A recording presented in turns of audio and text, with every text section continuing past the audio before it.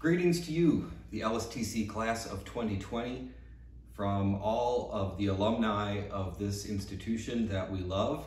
I bring you a message of peace and grace. My name is Pastor Michael Fick, and it's my honor to serve the Alumni Advisory Board.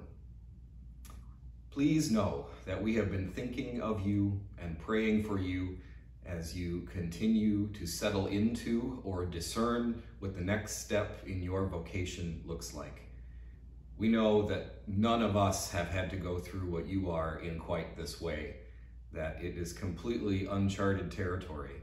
And so whether you're experiencing a lot of joy right now, or whether there's a lot of anxiety and uncertainty, we want to surround you and lift you up with our prayers and our care.